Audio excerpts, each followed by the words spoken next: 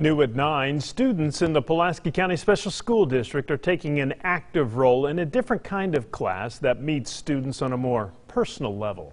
It's called advisory, and as our Jay Burr found out, it's opening their eyes to a whole new level.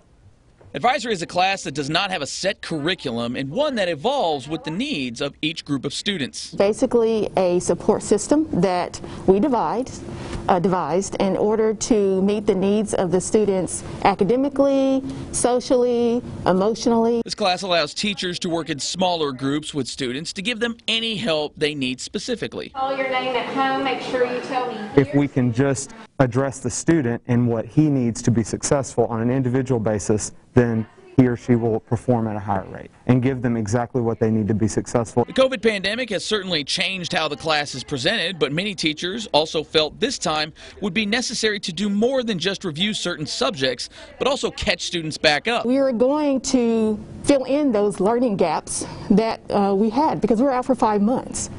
But beyond the academic component, At the three, and they thought it was either A or B. We make sure that the kids are learning how to be responsible leaders in our school and in their community. Many teachers have said this environment has allowed students to realize they are more similar than they may think, even if they see the world differently. and to work through the issues that are happening outside, um, outside of the, the walls of our school, but in, in the world and in society. And so it's great to have an opportunity for them to express themselves and to learn from each other. Addressing students in all three facets of learning and helping them to not only grow, but to be ready when they leave the realm of high school. We want our students to be prepared and ready.